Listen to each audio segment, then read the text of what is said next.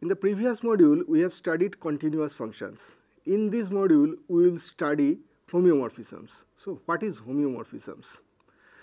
In group theory or in function analysis, we have studied various kinds of structure preserving mappings. For example, in group theory, we have studied isomorphism. In function analysis, we have studied linear isometry. For metric spaces, we have studied isometry. All these are structure preserving mappings. That is, if two structure have same properties, then they will be preserved by this type of mappings. For topological spaces, structure preserving mappings are homeomorphisms. Homeomorphism can be described in this way that two topological space will be homeomorphic if one can be transferred to another continuously and can be returned to return back also continuously. Will give the formal definition and a property of a topological spaces or a property of a mathematical structure will be called topological property if it is preserved under homeomorphism. After homeomorphism, we will study topological spaces in two ways basically. One way will be study of various topological properties of topological spaces. This will be one kind of study. Another kind of property will be that whether two topological spaces are homeomorphic or not.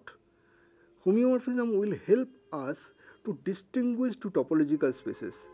For example, in this way, so let x and y be, to be two topological spaces and P be a topological property which is possessed by x, but that is does not that does not possess by y, then x and y will not be homeomorphic. Will come back it formally. So, let us start slide presentation. In studying group theory metric space, we have observed structure preserving mappings such as isomorphism, isometry. In this module, we will discuss structure preserving mappings of topological spaces. So, let us start, let us give the formal definition of homeomorphism. Let x and y be two topological space. By a homeomorphism f from x to y, we shall mean a continuous function f from x to y such that its inverse exists from y to x and inverse is also continuous. That means there exists a continuous function g from y to x such that g compose f is equal to identity mapping on x and f compose g is equal to identity mapping on y. That means f transform x continuously to y and g pull back y continuously to x. Clearly, here G actually is F inverse. So, if O is an open set of X, then the inverse image of O under F inverse is the same as the image of O under the map F. The same thing happens in the case of closed sets. So, we can define a homeomorphism in the following way a mapping f from x to y between two topological spaces is a homeomorphism if and only if it is continuous and open or closed. Proof Of course, uh, the mapping should be continuous and bijective mapping. Proof Since f is a homeomorphism, there exists some g from y to x such that G compose F is equal to identity mapping on X and F compose G is equal to identity mapping on Y. This follows from the definition.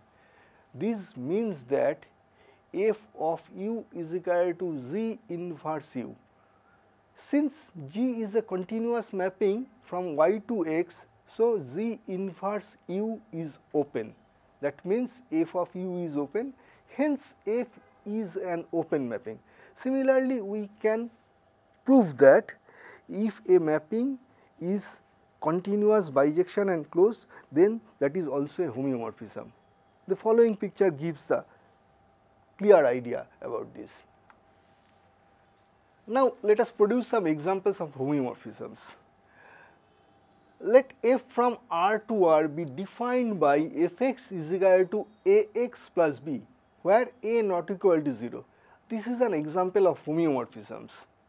In fact, if we define gy is equal to fy minus b by a, then g gives the inverse mapping of f.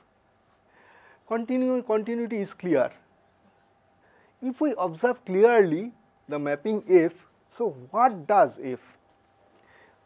There is two part. One is multiplication of a by x that means it increases or decreases the magnitude and another part is plus b that is fx is an affine transformation. So, this gives just the translation. So, we know that magnification and translation both these two are continuous mapping. So, this type of mapping ax plus b always continuous mapping and its inverse is also continuous. Let us produce another example of homeomorphisms. Let 0 1 and 3 4 be two open intervals. So, the we get a homeomorphism between 0 1 and 3 5 in the following way. Let us put fx is equal to ax plus b. Now, we can choose a and b suitably such that 0 1 map to 3 5 open interval homeomorphically. This example shows that R and 0 infinity are homeomorphic.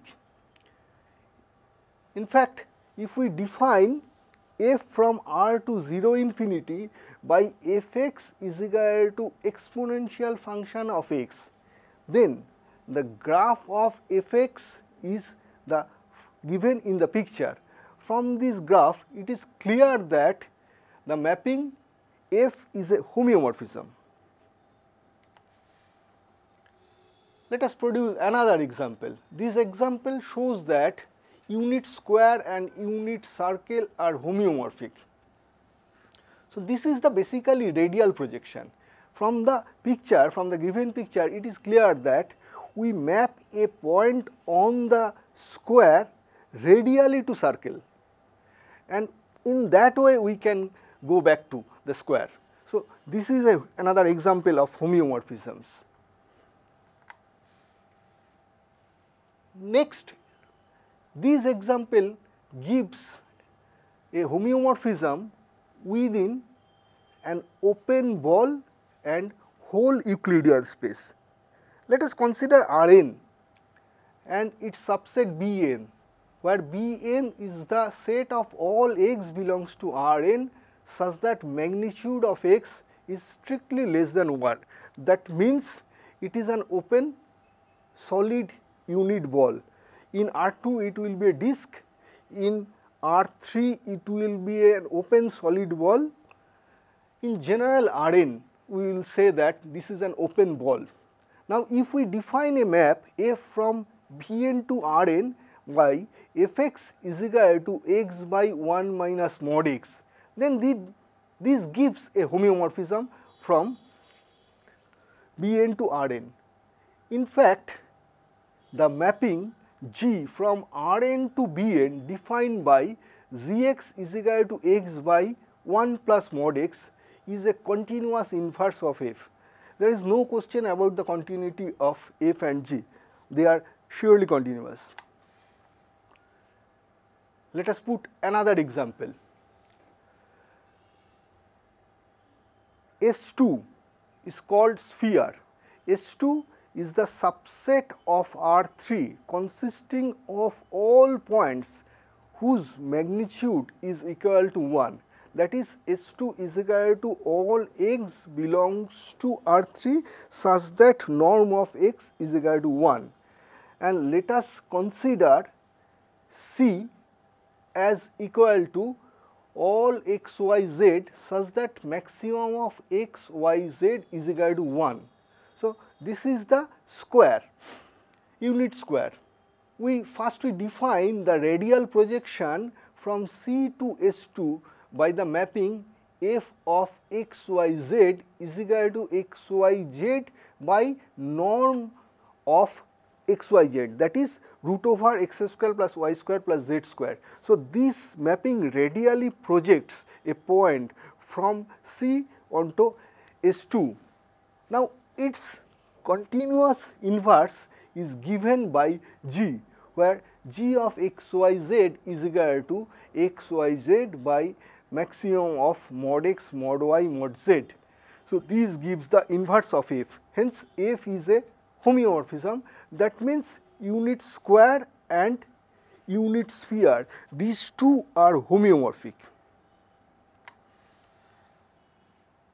So, this is an important example throughout the study of topology which shows that not every continuous bijective mapping is a homeomorphism. We define the mapping from semi-open interval 0 1 to S1 where 0 closed 1 is open and S1 is the unit circle. Now, mapping is defined by Px is equal to e to the power 2 pi i x. What does this mapping do? This mapping wraps the unit circle by the unit interval single time. So, in the previous example, we have produced an example of a continuous bijective mapping which is not a homeomorphism. The mapping is defined from semi-open interval 0 to 1 to the unit circle S1. This is defined by e of x is equal to e to the power 2 pi i x. So, why it is not an open mapping? If we consider 0 closed and say 1 fourth open. So, 0 to 1 fourth this set this interval this interval is an open set in the semi open interval 0 1 in the subspace topology induced from the topology of R. Now, its image is the arc from 0 to upper half north pole of the circle, but the point this is closed, but the upper half north is open. So, this arc is not an open set in S1. So, that means the mapping E from 0 1 to S1 is not open. Hence, this is not a homeomorphism. Our next example is called stereographic projection. In fact, it gives a homeomorphism between a punctured sphere to the Euclidean space. To be more specific, let Sn be the n dimensional sphere. All x belongs to Rn such that norm of x is equal to 1 taken with the subspace topology from Rn plus 1 we claim that removing a single point from Sn gives a space homeomorphic to Rn which point we remove is irrelevant because we can rotate at any point of Sn into any other. For convenience, we choose to remove the north pole that is the point 0001. Now, the set of points of Rn plus 1 which have 0 as their final coordinate when given the induced topology is clearly homeomorphic to Rn. It will be clear to you if you think in R2. So, if we take in R3 all points with the final coordinate 0, we get the plane R2. We define the homeomorphism from deleted sphere to Rn as follows. We define H from Sn minus n to Rn which is called stereographic projection as this if x belongs to S n minus n then Hx is the point of intersection of Rn and the straight line determined by x and n. That means, we take the line segment joining x to n and increase it so that when it intersect Rn that point will be the image of H. Now, clearly H is bijective. Now, let O be an open set in Rn. We construct a new set U in Sn whose points are the points of intersection of the straight line segments which start at n and pass through the points of O. Expect the point n, see the diagram in the next page. Then O is open in Sn, but H inverse O is precisely the set U. Therefore, H inverse O is open in Sn minus n. These establish the continuity of H and precisely similar argument deals with H inverse. That means, by the similar argument we can show that H is also open mapping. Therefore, H is a homeomorphism. The picture is like this. So, here we have considered the set U and the set of intersection of the line segments from n to points of u on the sphere. Now, as we have claimed that we formally define topological property. Definition A property say P of a topological space is said to be a topological property if whenever two topological spaces x and y are homeomorphic and one possesses the property P, then other will possess also the property P. Let us consider the following example to make it clear the top what is called topological property. Let us consider x is equal to r with our usual Euclidean metric and let y is equal to 0 1 where we have taken the trace of the usual metric on 0 1 let us say it as rho then we know that R with the usual Euclidean metric is a complete metric space, but we know that 0 1 open interval with the usual metric rho is not complete. So, completeness is not a topological property because we know that 0 1 open interval and R these two are homeomorphic what we have already studied. Now, we give the example of topological property both T1ness and Hausdorffness are topological property. Proof Let x and y be two topological spaces and f from x to y be a homeomorphism. And let us consider x be T1. We have to prove that y is also T1. So, to prove T1ness of y we have to show that every finite set in y is closed. Let f be a finite set in y. Now, consider the set small f inverse capital F. Since f is small f is injective then f inverse of capital F is also a finite set and its cardinality is equal to cardinality of f. Therefore, capital F is closed in y as f inverse capital F is closed in x. Hence, y is T1. Next, we shall prove that Hausdorffness are topological property. So, let x and y be two topological space and x be Hausdorff. We have to prove that y is also Hausdorff. So, for this let us take two distinct points x and y in capital Y. Then there exist unique pre-images of x and y. Let us consider u and v are unique pre-images of n x and y respectively in capital X.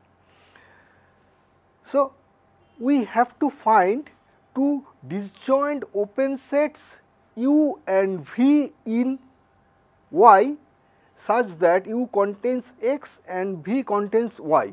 Now, since x is Hausdorff and u and v are different point in capital X, then there exist disjoint open sets u and v in capital X such that small u is contained in capital U and small v is contained in capital V and capital U and capital V are disjoint. Now, since f is a bijective mapping then f of u and f of v also disjoint. Again as f is open then f of u and f of v both are open sets. Now, these open sets contains respectively x and y hence y is Hausdorff. So, next we will prove a lemma which will be useful for us. By a disk in R2 we shall mean any space homeomorphic to the closed unit disk in R2. That means a closed rectangle is also a disk. That means we will consider closed rectangle or closed square or a closed triangle all as disk. Now, if A is a disk and if H from A to D is a homeomorphism, then H inverse S1 where S1 is the boundary of D called the unit circle is called the boundary of A and will be denoted by partial of A. So, our theorem is any homeomorphism from the boundary of a disk to itself can be extended to a homeomorphism of the whole disk. Its proof is given in this, it is easy, we are omitting this. Now, we are considering another example, another interesting example for which we will require the finite product. We have already studied the finite product in our previous discussions. We will present here that S1 Cartesian product 0 infinity will be homeomorphic with the punctured plane where S1 is the unit circle and 0 1 is induced with the subspace topology. We define a mapping from S1 to 0 infinity by f of theta r is equal to r cos theta r sin theta. This is 1 to 1 and onto since each point in R2 other than the origin has unique polar coordinates theta r. To see that f is a homeomorphism, just observe that it takes a basic open set of the form u cross v, where u is an open interval theta 0 to theta 1 and V is an open interval R0 to R1 of values R to an open polar rectangle and such rectangles form a basis for the topology on R2 minus 0. As a subspace of R2 by restricting F to a product of S1 cross close interval AB for 0 less than A less than B, we obtain a homeomorphism from this product to a closed annular region in R2, the region between two concentric circles which is described in the following example, following pictures. We end our discussion with the following theorem, following observation that means we have told it as no Cantor-Bendixson theorem for topological space. We know that Cantor-Bendixson theorem says that if x and y are two non-empty sets such that there exists an injective mapping from x to y and y to x another injective mapping then x and y are of same cardinality.